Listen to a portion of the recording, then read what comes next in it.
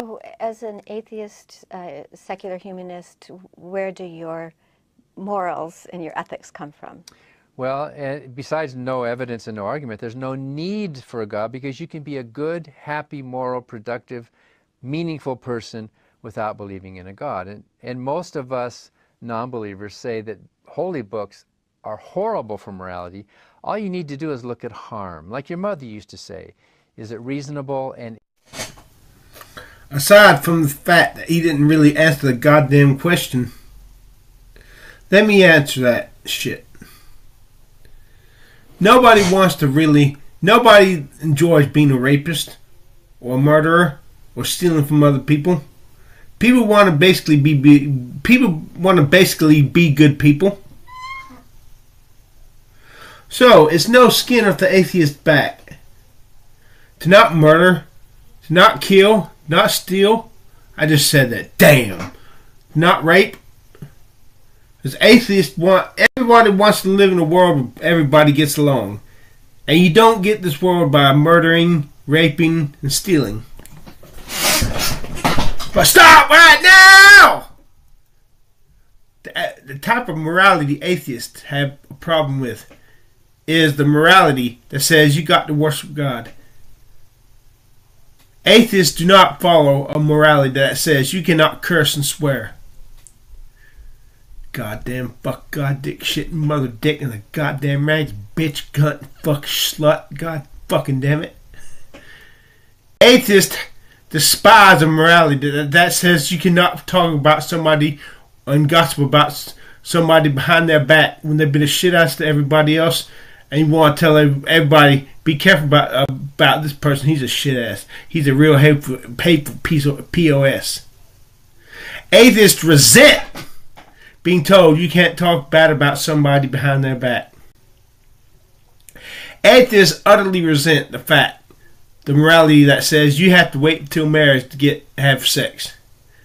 Atheists despise the morality that says you can only have sex within marriage between, between one man and one woman. You see, so in one respect, atheists are moral beings because it's no sticking off their fucking back. But when it t- comes time to start sacrificing and giving up what they want to do, they're not moral people. They don't worship God. They don't.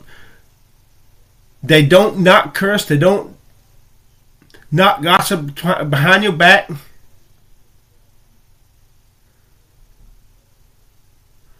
God damn it! I was gonna say. Oh, and another thing. This is done. All these atheists who talk about, oh, I want a better world. I want to make the world a better place. Have you ever seen an atheist saying this? That's not rich. Got a huge following. That does not have a substantial following on social media. That's not got that shit together. Have you ever seen a down and out atheist? Living from paycheck to paycheck, barely making it.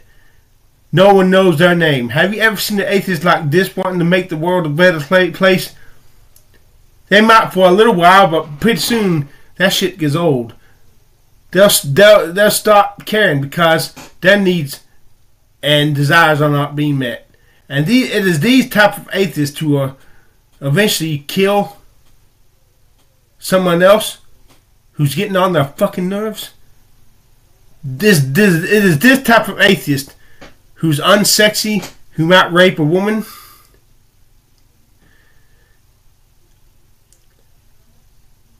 I'm talking about the atheist who are, yeah, yeah, broke, down and out on their luck. You're only telling a small percentage of the story. We talk about the new the new atheist, the atheist who wants a better world, the atheist who loves his fellow man. Yeah, it's easy to do that shit when you're rich like Aron Ra. When you got a huge following like Dan Barker does. When you got claim and fame and acclaim and wealth. But you get an atheist in the foxholes of life. These atheists tend not to give a damn about everybody else. But yet you let one of these atheists become a hero, and all of a sudden they'll go to altruistic. We love. I love human beings. I want the world a better place because they're happy. But if you're an atheist and you're not happy, you don't. You tend not to have even the basic morality. You tend to be. You tend to. You tend to be willing to steal from somebody else, especially big business when nobody's gonna miss it. You wouldn't mind stealing a few groceries or uh, stealing a toaster oven from Walmart. It's big business. That they make up for it in sales. In the extreme case, you might even rape a woman if you're a homely looking, unsexy atheist, no friends. You might even kill if you're so down on luck. I mean, just look at the Columbine shooters. Just look at the trench coat mafia shooters.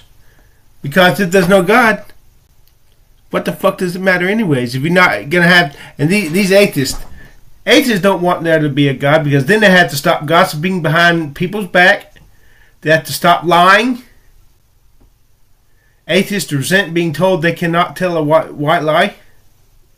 They resent being told you have to worship God. So that's my that's I just solved the complex puzzle of atheism and morality. Are atheist people? Yes. In the sense that nobody wants to live in a world where everybody's raping, killing, and stealing. And people have basic, basic sympathy for one another. There's no skin off your back to live like this. Yeah, you don't have to sacrifice to not rape, kill, and steal. But you do have to sacrifice to not gossip behind somebody's back to love your fellow brother when he's an asshole, to not lie, to save yourself from marriage, not have not have homosexual relationships, but only monogamous monogamous between one man and one woman in marriage. Atheists are not more when it comes to that. so, so, so, so, so, so. Right, right. So the pedophile's desires are completely fine as long as they don't act like Correct. That your argument? Correct. Aron Ra, based on what Dan Barker and Matt Dillahunty have said, let me ask you a question. Since Matt Dillahunty says there's nothing wrong with a man having a desire to have sex with children, just as long as he doesn't do it. My first question Aron Ra, would you want your dead granddaughter living next to a man who had desires to have sex with children, even though you knew he'd never do it? Would you want this? Because if you would, you're a sick fuck. Would you want that even though that man would not ever molest your granddaughter? He would have he would look at her and have fantasies about having sex with her. But that's all he would do. And according to Matt Dillahunty, there's nothing wrong with that. Would you want this motherfucker living next door to your granddaughter?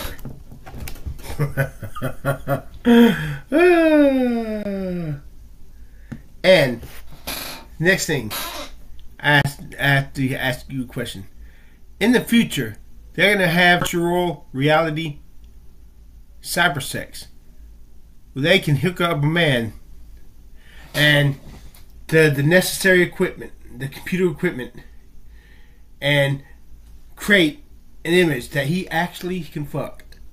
That can that this computer can create the perfect woman and let him fuck her to his heart's content. Would you have a problem with this a child molester just so long as he never acted upon his desires in real life? Would you have? Would you be comfortable? Would you be comfortable with this man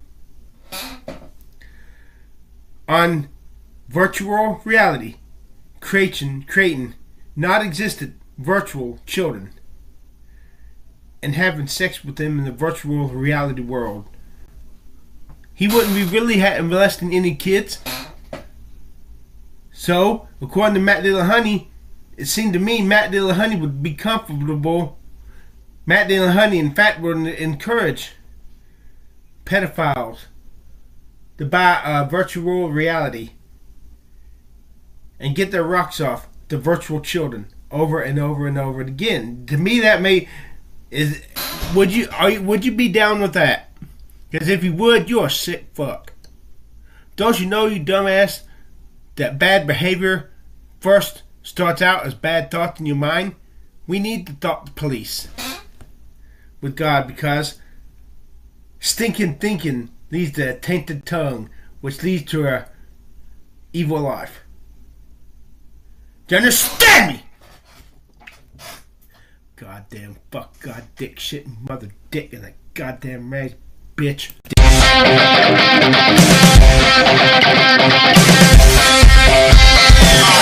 punch my face, punch my face.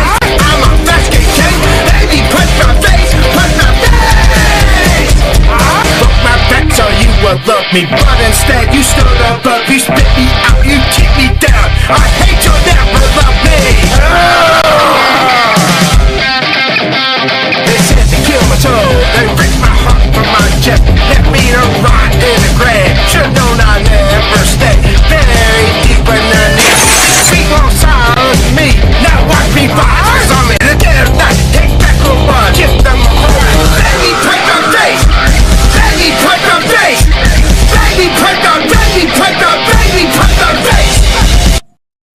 absolutely. We don't arrest people and So, put them in uh, prison for Dillahunty, wanting are you to do now the thing. saying that it's okay to desire to want to rob a bank? That's Yes, okay sir. desire to. It's, Yes, o- sir. it's okay to want to do anything. Yes, sir. It's So not okay to do anything. Oh, what about being a what about a mass murder? Is that an okay desire to have? It's okay to have that desire. Right, It's as long as you're not to act. acting on it. As a matter of fact, the person who has that desire and never acts on it is engaging in a morally superior position. Yeah.